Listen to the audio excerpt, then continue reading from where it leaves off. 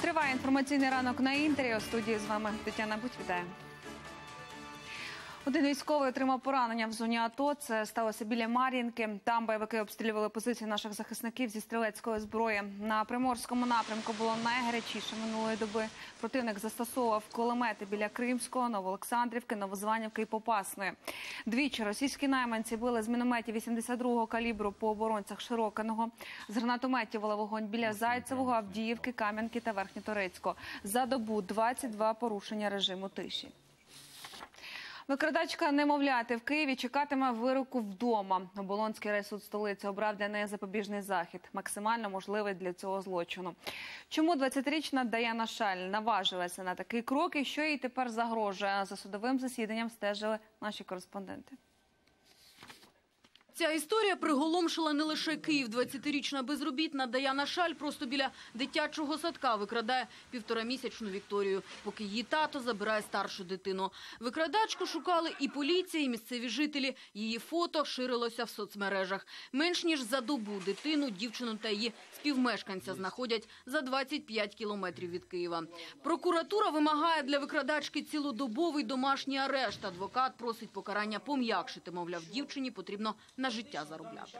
Ті ризики, які передбачені статтею 177 КПК України, вони прокурором не доведені. При наявності цілодобового домашнього арешту вона не зможе самостійно себе забезпечувати. Дана особа є повнолітньою, вона може працювати. В неї є таке бажання, тому я прошу е, зауважити на це та обрати запобіжний захід у вигляді е, домашнього арешту у нічному клубу. Про мотиви ані слова, мовляв, адвокатська таємниця. Сама Даяна Шаль в суді теж вважає за краще відмовчуватися. Каже, про скоєне шкодує, але чому пішла на викрадення, пояснювати не хоче ні журналістам, ні судді. Ми приймаємо таке рішення здесь.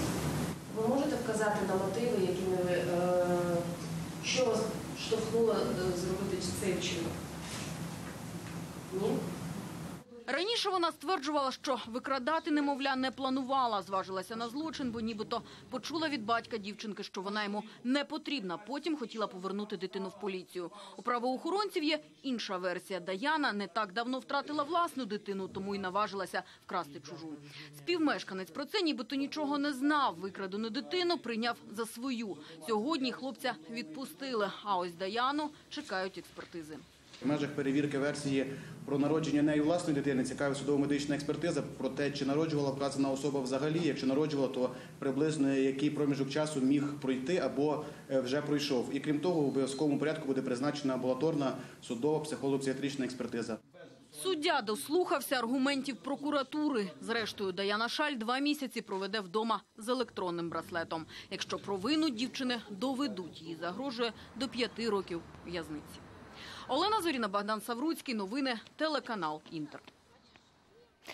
Національне антикорупційне бюро провело обшуки в Одеській міській раді, зокрема в кабінеті міського голови Геннадія Труханова. Що шукали детективи, з якого приводу приходили? Про це далі.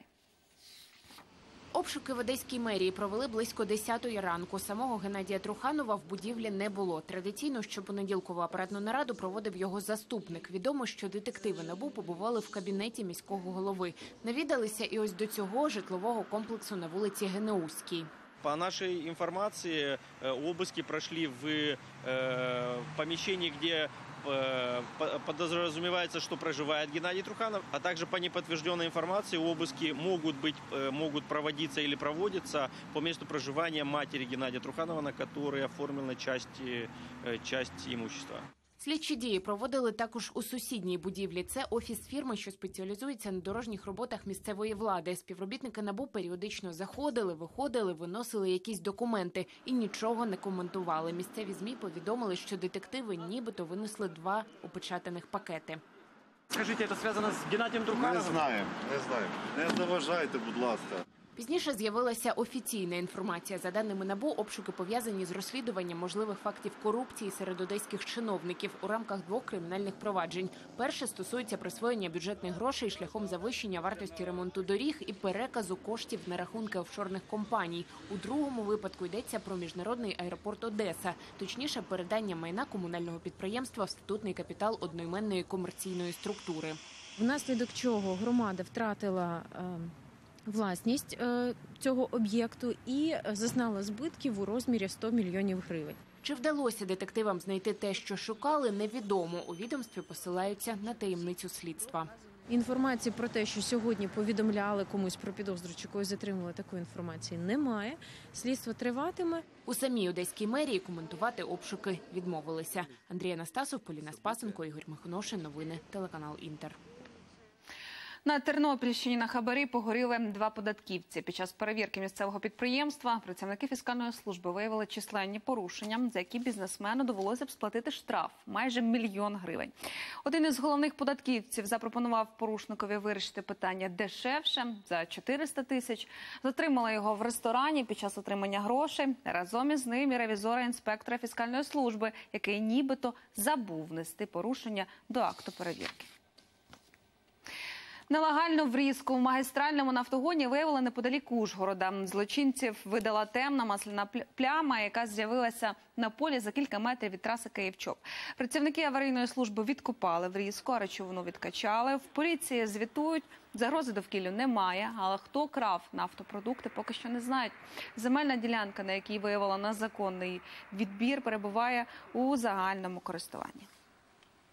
На магістральному нафтопроводі на глибині прикручений краник, через який власне видобувалися, видобувалися нафтопродукти. За кілька за кілька сотень метрів від цього місця було виявлено також калюжу нафто е, із рідиною, яка ймовірно і є цими нафтопродуктами. У Греції журналісти оголосили страйк. Заявили, два дні не передаватимуть новини. І все через заходи економії грецької влади та кредиторів, які фінансують сферу змі. Провідні медійні профспілки вимагають зберегти систему соціального страхування, завдяки якій журналісти отримують додаткові пенсії та медичну допомогу. До протесту приєдналися інтернет-сайти, працівники радіо і телебачення. 340 мільйонів доларів виділять в ООН для мусульман Рохінджа. Про це домовилися країни-донори на конференції в Женеві. Гроші підуть на допомогу 600 тисячам людей, які втекли із М'янми до Бангладеш. Понад половина біженців діти в себе в країні, де переважна частина населення буддисти. Мусульмани Рохінджа зазнавали гонінь за різними даними. Внаслідок релігійних протистоянь в країні загинуло близько чотирьох сотень цивільних. Перший в історії чемпіонат світу зі збирання оливок відбувся в Хорватії. Для участі в змаганнях на туристичний острів Брач з'їхалося 9 команд з усіх куточків Європи. Хто переміг і який врожай зібрав, розповість Дмитро Євчин. Мальовничий острів Брач неподалік Далматинського узбережжя на півдні Хорватії. У містечку Постіра майже все населення задіяне в туристичному бізнесі. Але коли сезон закінчується, відпочивальники роз'їжджаються, місцеві починають збирати оливки. Постіра славиться своїми маслиновими гаями. Цьогоріч уперше провели чемпіонат світу зі збору оливок. Запросили родини звідусіль. Для участі в змаганнях приїхали 9 команд. Думаю, швидкість збирання завжди була дуже важливою. Люди здавна змагалися, хто першим збере врожай, але ніколи не було особливих правил. Родини з різних островів Адріатики хізувались тим, що вони, приміром, уже впорались. Зараз, мабуть, перший випадок в історії, коли оливки збирають за встановленими правилами.